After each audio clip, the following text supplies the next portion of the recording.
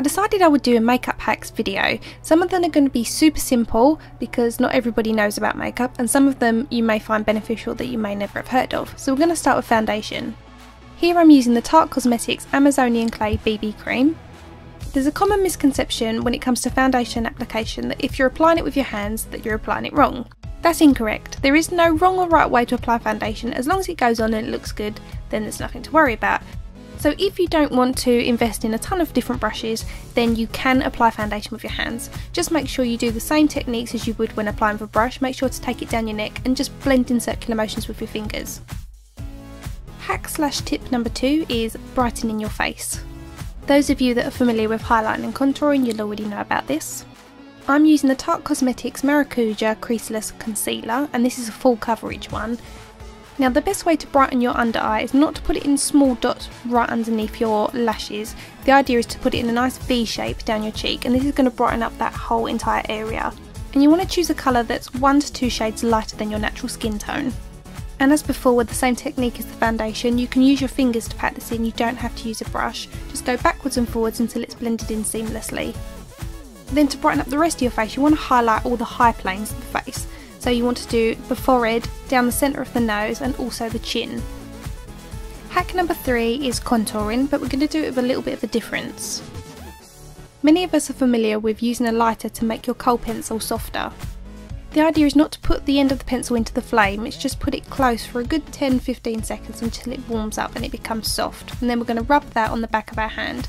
We don't all have the right products to contour with, but we usually all have a brown eyeliner. I'm using this face liner pencil by Kryolan and then taking a small foundation brush, I'm rubbing that into the product that's on the back of my hand and then working it into the areas I want to contour. Now contouring means to darken those areas and set them back so it will make your nose look smaller and also the hollows of your cheeks and around your hairline so this can really help define the features of your face. Now with the highlight we went one or two shades lighter than our skin tone so for the contour when you're choosing a pencil you want to choose one that's one or two shades darker than your skin tone. The idea of the contour is to look like a shadow, not to look like you've put a brown line on your face. So the idea is to blend well and choose the right colour. Hack slash tip number 4 is about your eyebrows. I often love the colour of an eyebrow pencil, but I prefer to apply it with a brush. So using the same technique as earlier by warming up the kohl pencil with the lighter, I've worked that onto the back of my hand and then I'm using the brush just to go through the brows. So if you do prefer to use a brush, so you've got more control, then definitely warm up your kohl pencil with the lighter. This is a great way of using the colour that you like with the product that you like. Then another handy tip to keep those unruly hairs in place is to use a little bit of hairspray onto a spoolie brush. So if you don't have an abundance of products and you don't have brow gel as well as your brow products, then this is a great alternative to use. It's quick, it's simple and it really works. Hack number five is about mascara. I'm sure many of you will know this one, but those of you that don't may find it interesting. There's nothing more annoying than spending $20 or £15 on a mascara that dries out in a matter of weeks. So, tighten your mascara tube and put it into a jug of water that's hot from the tap and just wait for 5 minutes. Then when you open it, you'll see that your mascara wand looks as good as new again. All the mascara from the sides of the tube is reheated and lubricated and you'll get more use out of your mascara for longer. Then talking of mascara, that brings us on to hack number 6, thicker fuller looking lashes. For this tip you can use talcum powder or do as I'm doing and use translucent powder. So you want to curl your lashes and then apply a fresh coat of mascara to them.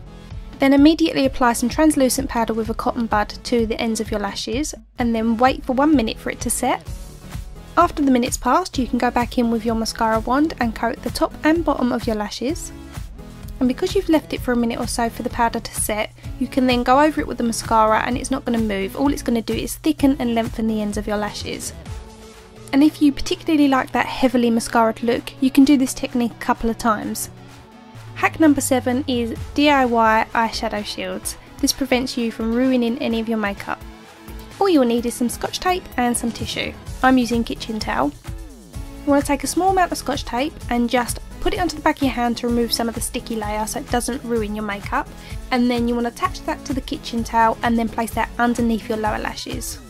And then as you can see, it hangs off from underneath your lower lashes and it will catch any of the eyeshadow fall down so you can use your shimmeriest of eyeshadows or your darkest colours and you're not going to get any colour on your cheeks. And another quick tip is if you happen to apply eyeshadow after your mascara, just go through your lashes with a spoolie brush and the pigment will fall out of your lashes onto your shadow shield. Hack number 8 is how to create easy eyeliner flicks. For this I'm using my trusted Bobbi Brown gel liner and I'm using some of the scotch tape from earlier and again removing the sticky. I'm placing that underneath the outer third of my lower lashes and the direction that the tape lays is perfect to create this winged eyeliner. I'm only creating the liner on the outer third so I'm not going all the way across. So I'm going straight in to create that flick and as you can see when I'm pulling it across from the eyelid I'm going straight over the tape and then as I remove the tape you'll see it creates the perfect nice straight clean line. Another alternative is to use a credit card. I'm using my MAC card.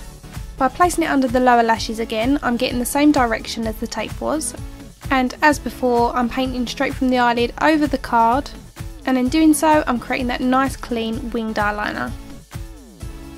Hack number 9 is to create your DIY contour brush. Now I'm taking this old powder brush, I've had this for over a decade so I'm going to put it to good use and I'm going to make it into a DIY contour brush.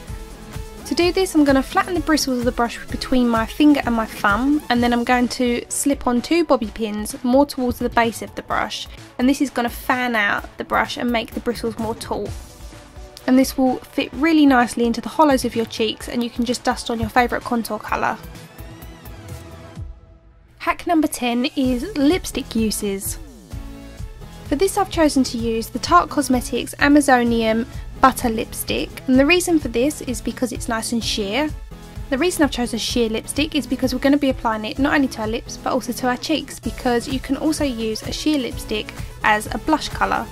The more intense the lipstick, the more intense the blush will be. So you can buff this in with a brush, I'm using a Tarte Cosmetics Slenderizer brush.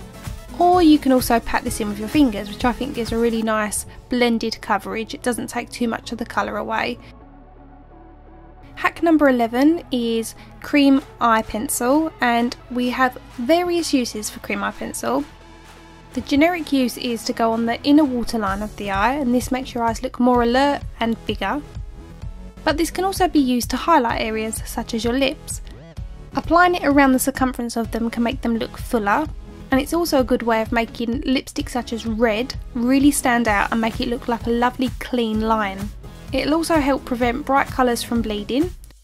And just go around it with an angled brush just to blend it in so it's not noticeable but it will make such a big difference and if you leave it a tiny bit more visible just on the cupid's bow of your lip then that'll be a nice natural added highlight. And this leads us on to our last hack, number 12, and this is to fake fuller lips. I'm taking a nice shimmery eyeshadow, which is the same as the one I've got on my eyelids, and I'm placing that just on the centre of the lips.